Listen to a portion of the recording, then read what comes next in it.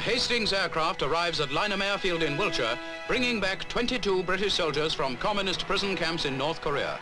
All were released under the sick and wounded exchange agreement. The crowd surges forward as the open doors reveal the stretcher cases.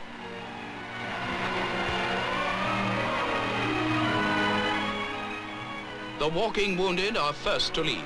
Eagerly they seek their wives and sweethearts in the crowd, their loved ones who for many months have smiled at them only from treasured snapshots. The weary days of captivity are forgotten in the joy of reunion.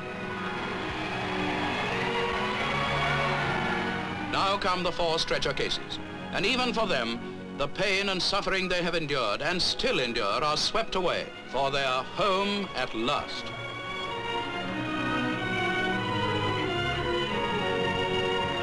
His mother and fiancée greet Lance Corporal Guess, whose home is in Luton.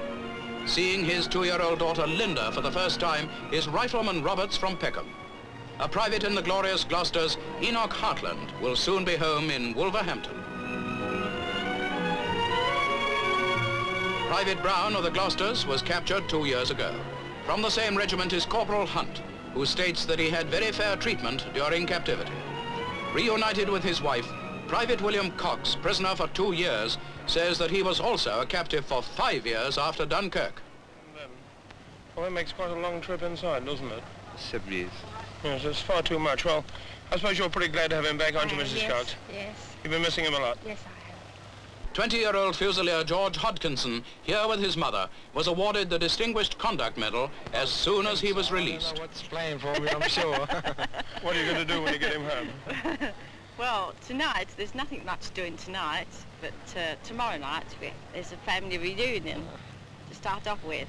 And of course, next weekend, most likely, I think the, uh, the borough's going to do something for him. Oh, that's very nice indeed. Well, there'll be quite a few celebrations. Yes, it's got quite a few celebrations to take place.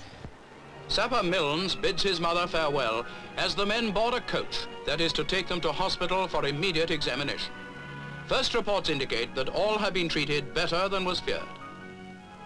Now, most of the released men have rejoined their loved ones in their own homes again.